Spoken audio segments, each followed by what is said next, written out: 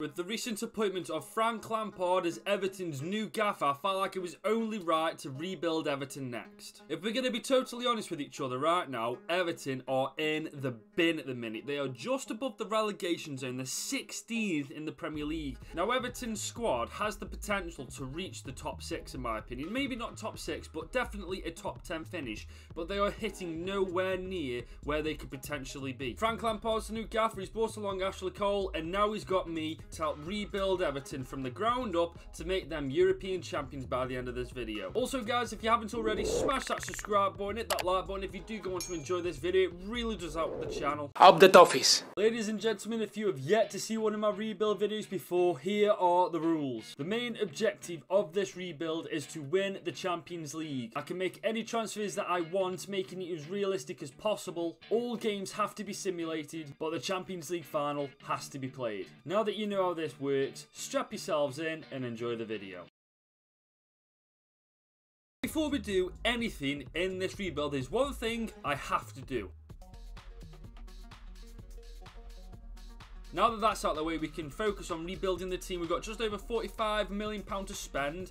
And if I'm being honest, Everton's starting lineup is actually not too bad. I mean, they've got some very, very good players in this team. They've got Richarlison and DC out up top anyway. And we have also added Donny van de Beek and Dele Alli to the team as well. We begin this transfer window by bringing in a right back by the name of Benjamin Pavard. The Frenchman is 25 years old, 79 rated, and he cost us just under £30 million to get away from Bayern Munich. This has to be the lowest rated youth academy player I have ever seen. 16-year-old William Chadwick, he's 23 overall.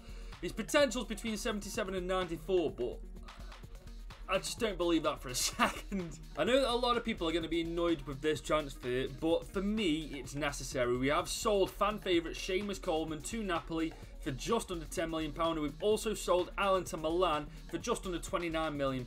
Also just sold Fabian Delph to Montpellier for just under £3.5 million. Meanwhile, we have brought in the Ukrainian Victor I am going to try to pronounce that last name because I will completely butcher it. We have brought him over from Inter Milan for the region of just under £40 million. He's 23 years old, 80 rated, 5 foot 10. I want this guy to stay long term. I feel like if we can keep him long term, he'll come really good for the club. We have also just sold Salomon Rondon to Borussia Mönchengladbach for just under £5 million. And we've also sent out Tom Davies on a one-year loan to Strasbourg. On top of that, we have just sold Gbamin to Lille for the region of just over £7 million. We have come to the end of the transfer window, and this is how the team is currently looking. Just to give you guys a bit of an update, um, I'll be honest with you, the people that I'm putting the most faith into this year are Dele Alli and Van der Beek. It's quite ironic because Dele Alli has come from Tottenham Hotspur where he started off incredibly when he first started gaining some limelight, but he's really started to decrease. Hopefully Everton's his second chance in real life as well. And Donny Van der Beek, do you know what? I hope that when United play against Everton, Van der Beek tears them apart because this man is so underrated. It's going to be interesting to see where we are at the halfway point this season. So we are sitting in the top eight at the halfway point. So to be fair, I'm not too unhappy with that. I mean, I would I would prefer a top six. I'm not going to lie to you. I feel like we're a bit better than Leeds United at this point. But the top four are pretty solid. You've got Liverpool, Chelsea, Man City, United. Arsenal are 11th. Don't you just love to see it? When I say I've just received the most insulting transfer offer in the history of transfer offers, I am not joking. Jonjoe Kenny, right? 75 rated, 24 years old. Yeah, fair enough. Palace have offered me just over 750,000 for him. Patrick Vieira, you can shove that transfer offer where the sun doesn't shine. We have done a little bit of business in this transfer window. We've sold Alex Iwobi to Leipzig for just under £20 million, which in my opinion is a great bit of business. And we've also sold Andros Townsend to Borussia Mönchengladbach for just under £12 million. And on deadline day, we have successfully got Everton away from Benfica for just under £38 million, 25 years old, 81 rated. I believe this guy is quite a good talent in real life as well so I'm actually quite happy to get this guy. And after that transfer window, this is how the team is looking. Just to give you guys a bit of an update, Calvert-Lewin and Richarlison are running the show up top. The rest of the team, if I'm being quite honest, is looking exceptionally well-rounded. So realistically speaking, we should be looking at a top six finish. We really fell off in that second half of the season. We were 12 points behind Leicester City, who's sixth place. This That's just shocking. I thought with the team we've got, we'd have actually pushed for top six, but it looks like we're just outside. I don't know whether that means that we entered that the rip-off Europa League. I'm not too sure, but I know for a fact we're not in the Europa or the Champions League. Liverpool won the FA Cup. We ended up losing against Chelsea in the Carabao Cup final on penalties. Basel ended up winning the Europa Conference League. PSG won the Europa League. And Bayern Munich ended up beating Manchester City to win the Champions League. As expected, Richarlison and DCL ran the show, getting themselves just under 40 goals between them as the partnership. I won't lie to you though, I'm disappointed that we didn't make it into the top six. I thought for sure that we had the strength in the team to do it, but that's where season two comes in, and we are going to have to make some big signings to make a big impact on the Premier League. So this season we've got just under 100 million pound and we are kick-starting season 2 off with a bang and signing Niklas Süle, the German giant, 26 years old, 84 rating. He cost us just under 56 million pounds. On the flip side, we've just sold Michael Keane to Hoffenheim for just over 28 million pounds. We have just signed Marc Cucurella from Brighton for just over 57 million pound. 23 years old, 83 rated. This man's going to be special. In other news, Mason Holgate had a release clause I had no idea about. So Holgate is now playing for Chelsea and we got just under 22 million for him. I hate release clauses so much. So that transfer window has just finished. This is a little update on how the team is looking. As you can see by the overalls, this team substantially improved from last season. Now, I do believe that we are in the Conference Europa League or whatever it's called.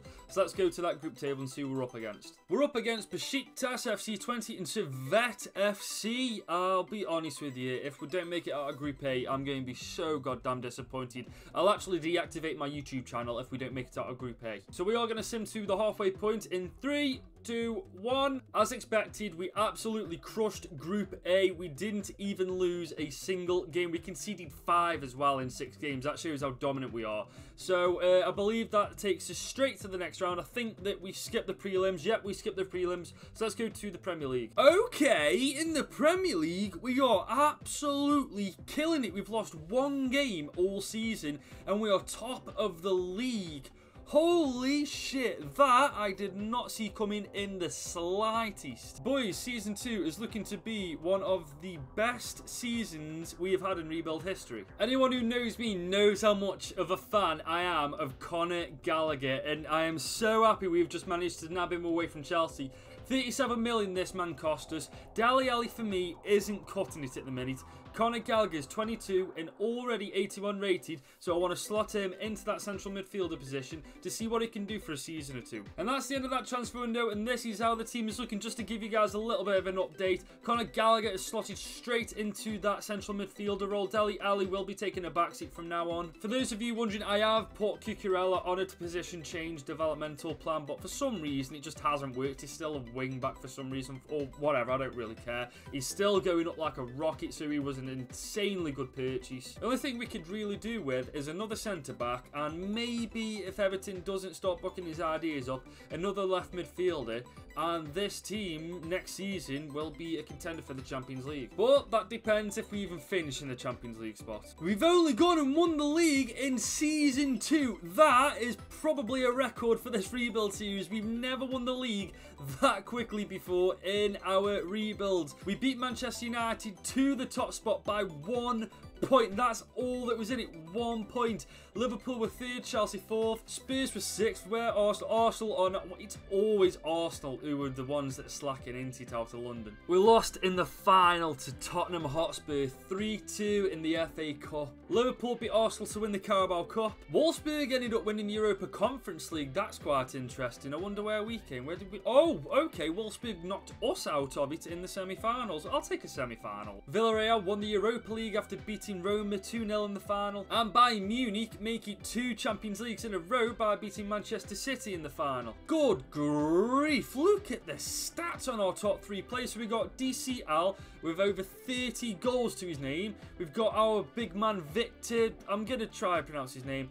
Victor Shankov. I want to say Shankov You've got 23 goals and 11 assists from the right midfielder position. And Richarlison, who bagged himself over 20 goals this year. That's insane stats, that is. I'm just hoping we can replicate this next season. Who knows? We could get a Champions League final in Season 3. It is certainly going to be interesting to see how we do, though, next season. Because if we can make the correct signings, I mean, we're going to have a bit more budget to play with, I think, in Season 3 because of how we've done this season. So I think next season, we go big. Season 3 is the season for massive signings because we've got over 180 million pounds to play with. I'm very aware that I said that I wanted Conor Gallagher to take Alli's role, but that was before we got given over 180 million to play with. So I have brought in my man Tchouameni. I'm pretty sure I butchered that name, but whatever. We move 6 foot 2, 23 years old, 86 rated, 100 million pound to get. He's getting straight in that starting lineup and he is not moving an inch. Joe Gomez has become the latest name in the long line of traitors. He's gone from being a red to a blue, 6 foot 2, 26 years old, 85 rated, just under 50 million pound. I think it was time to let Dele Alli go to progress his career elsewhere. We've let him go to the Spanish Giants Atletico Madrid for 28 million pound. We have brought in another player in Nick Pope, 31 years old, 82 rated. He cost us 18.9 million pound to get away from Burnley. He's more for rotation if Pickford gets injured in the Champions League. And that does wrap up that transfer window. This is a little update on how the team is looking, and I'm not going to lie, I, I think we've got a good shot. I really want to like replace Everton. Nobody will come in for him, and I can't afford to bring in anyone better. But other than that, I'm very happy with how the team is looking. It's not just that. Look at the subs bench as well. We've got such a good line of replacements as well for the players on the pitch. I don't think we've ever had such a well-rounded starting 11 and subs bench at one point. Now, we are in the Champions League, so let's go check out who's in our group. We are facing off against Napoli, Villarreal and Spartak Moscow. Now, I'm, I'm not too sure how this is going to play out. It could be any one of ourselves, Napoli and Villarreal going through. Spartak, I can't really see that happening. But realistically, Napoli are a good side, and so are Villarreal. Villarreal are a fucking dark horse in this group. So what we're going to do, we're going to simulate to halfway points, point, and hopefully we have the strength in our team to make it to the round of 16. We do make it through Group E. Napoli do top the table by two points. Ourselves are very closely behind them. Villarreal are nowhere to be seen pretty much, along with Spartak Moscow. Now, I'm very happy with that, I'm not going to lie to you, but I'm quite nervous to see who we've got in the next round.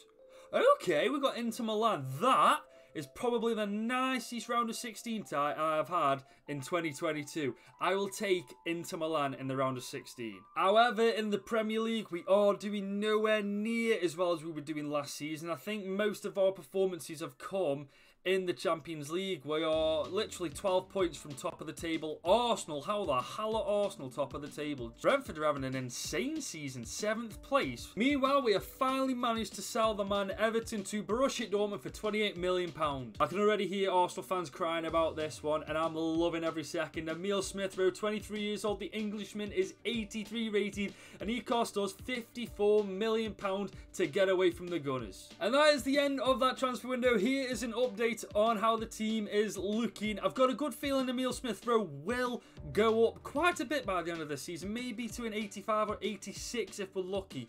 But if you take a look at the rest of the team, this is potentially a Champions League winning team. I mean, we're up against Inter Milan first. That is not an easy fixture by any means of it, but it is definitely one of the better teams to pull in the round of 16. Plus, I've got all the faith in the boys. I mean, Van der Beek has paid that faith back so goddamn much. I think he's 26 and he's 86 rated.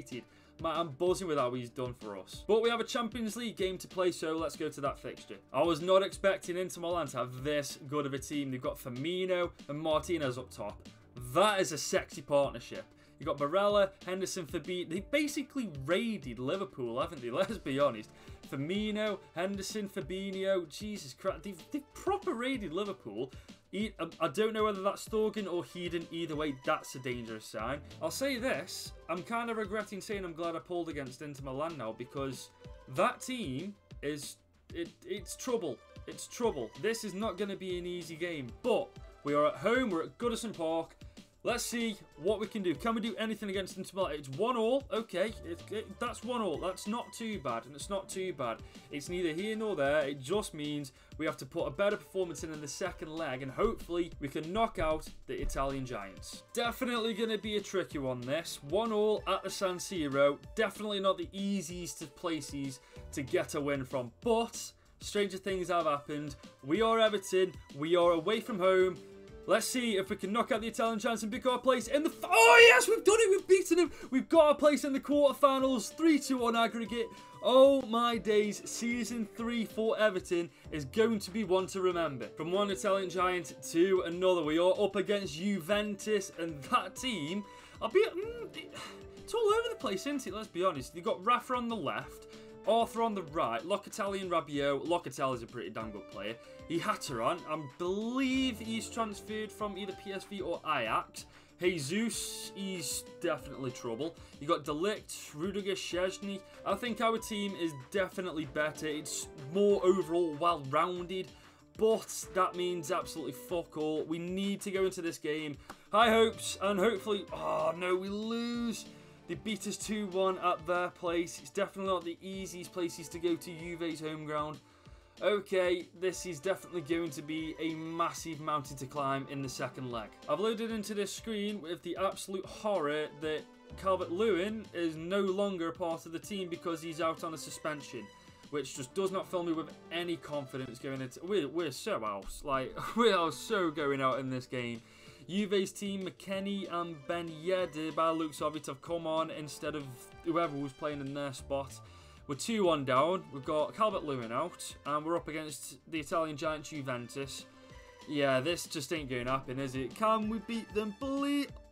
Oh my god, we've done it! Emil Smith Rowe with the brace in extra time gets oh, oh boys i'm buzzing we've beaten we've beaten two italian giants on the way to the semi-finals. Oh come on! I'm buzzing with this. Let's go the toffees. At some point or another we always end up playing against psg in the champions league. They've got the front three of absolute nightmares. That middle three as well is not exactly bad. Yeah that, that team that starting 11 is pretty goddamn scummy if you ask me and we've got one of our best midfielders out. Can we go one game without one of our players being out on suspension? But it is what it is. Nevertheless, we're against PSG. We're at Goodison Park. Can we get uh, an advantage going into the second leg? Okay, we lose 2-1. We lose 2-1. It's, I'll, I'll be honest with you, it's not exactly the worst result in the world. It's against PSG after all. We can only hope that we perform better at PSG's ground and somehow overturn this and get our place in the finals. We've finally got our team back to full strength and we are certainly going to need it against PSG in this second leg. We're 2-1 down. We are at PSG's home ground which just does not make this any easier. They've got Sakari. It's you do scumbags. He's a CDM, not a, well, I suppose you could play. You scumbags, PSG. Nevertheless, we're going to quick sim this game, and hopefully we can pull off the impossible and Oh my god. We've fucking done it. We've actually gone and done it. Van der Beek and Emil Smith Rowe have booked our place in the Champions League final in Season 3 with Everton. We have just beaten PSG. We've beaten Inter Milan, Juve, and now PSG. Oh my god, I'm, I'm buzzing. We've just beaten possibly the biggest threat to us winning the Champions League. Okay, so we've got the Spanish Giants Real Madrid in the Champions League final. It's, it's kind of nice playing different teams every rebuild. Like I'm, I'm, I'm actually quite enjoying this. It's a different challenge each time.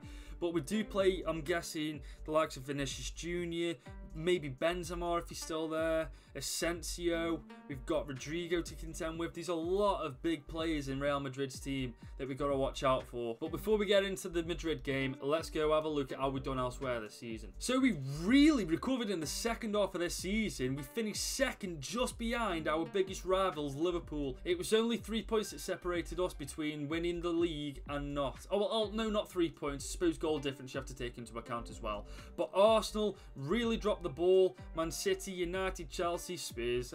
Spurs always lacking as well. Quite a successful season if you ask me. Second in the league. Yep, I'll, I'll definitely take second in the league. Tottenham Hotspur won the Carabao Cup beating Liverpool of all teams. Bergamo Calcio beat Lille to win the Europa Conference League. And Tottenham Hotspur beat Roma to win the Europa League. Just having a quick scan through the stats. I mean, the boys have done absolutely brilliant, haven't they? Emil Smith Rowe really made a name for himself this season. I told go up by at least two overall, maybe three if we were lucky, but two. I definitely called that one. Van der Beek, they've all done brilliant, haven't they? Let's be honest. Let's go have a look at Real Madrid's team. Okay, Real Madrid's team is definitely something to be feared. So that front three alone is quite terrifying. You've got Milinkovic, Savic, Tielemans and Casemiro. Casemiro must be going on at this point. I do I think that might be Theo Hernandez. If I was Real Madrid, I'd have gone for Theo. Laporte, Bastoni, Carvel, Courtois. It's definitely a very, very good team, but we've got a very good team as well. So it is Everton versus Real Madrid in the Champions League final.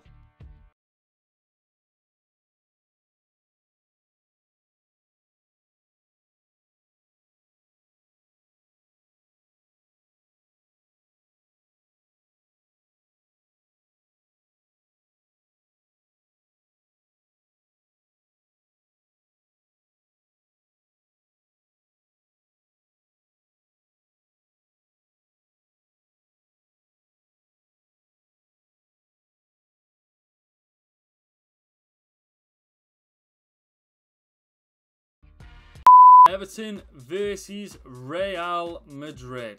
Donny van der Beek. He gets a bit of free space. Ooh, Courtois with the good save. Modric is hanging up his boots, eh? That's, that's what an illustrious career that guy's had.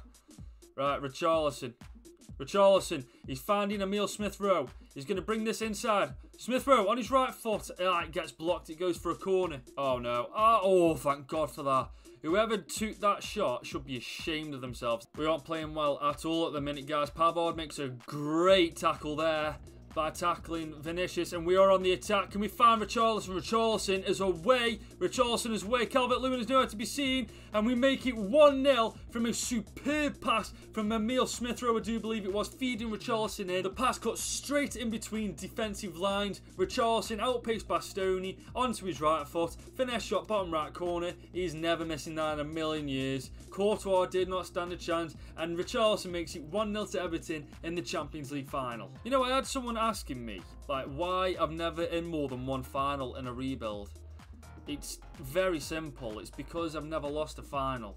And because, quite frankly, I'm actually quite good at this game. I mean, it's not like I play on amateur. I play on ultimate, and I play it on four minutes, where ultimate really do decide to kick your ass whenever they want. But quite frankly, I've never lost, so uh, I don't know the feeling. And that is half time. We are 1 0 going into the half time break. If you check the stats, we've got more shots. Yes, they got a little bit more possession. We've outpassed them though. We've been tackling them quite well. They've had to make more saves than us. I mean, realistically, we are we're, we're definitely, definitely dominating the game in my opinion. Let's not have a repeat of the Man City game, eh? I do not want to concede straight from kickoff.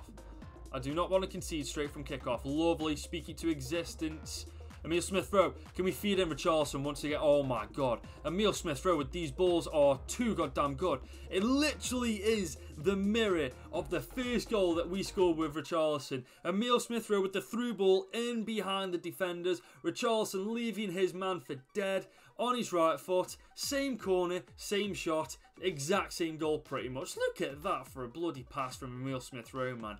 And what a finish from Richarlison yet again. Courtois looking like he's a Sunday League keeper. Bang, get in. 2-0 in the Champions League final. It's all but finished. Big Benz is on the ball now. He's just passed it to Casemiro. Real Madrid are starting to turn the heat up a little bit now. They're passing it really nicely. We managed to get the block in, but now it's our turn. Now it is our turn. Can Calvert-Lewin find that? Oh, not quite. Considering Real Madrid are losing 2-0, they aren't really that in much of a hurry to attack us. The the real oh, just as I say that, Vinicius Junior decides to go on a mad one. Okay, let's just contain him. Oh, Pavard, that we need to be doing better than that, lad. We need to be doing far better than that. Uh oh, yeah. There it is. There it is. That was fucking shocking defending from me. Who scored that? Jovic. Yep, okay, it's 2 1 now. Madrid have got a lifeline. We cannot afford to defend like that. That was absolute dog shit defending from me. I don't know what I was doing here. I should have seen that coming a mile off, to be honest. Oh, Richarlison's got the ball here. Can we dink it over to Calvert-Lewin? Calvert... Oh, my... imagine if that had gone in. Imagine if that would have gone in. Oh, my God. He would have been the... He'd have been the English Giroud. And that was definitely on target as well, because Courtois had to make a save. Holy shit, what an attempt that was. Real Madrid have really turned on the gas in these last couple of minutes. Cucurella with a great tackle though. And is it our turn to finish this game off? Come on, can we finish this game off? Richarlison, can we find Calvert-Lewin? Calvert-Lewin, can we find the dink, that all-important dink?